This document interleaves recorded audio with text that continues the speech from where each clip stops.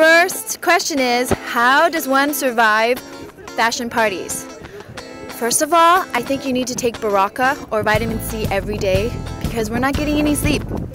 And a friend told me that in order for the alcohol not to get into your system when you're at a party, you drink one tablespoon of olive oil before you drink, and then that coats your stomach, and then the next day you're totally fine and you're not hungover.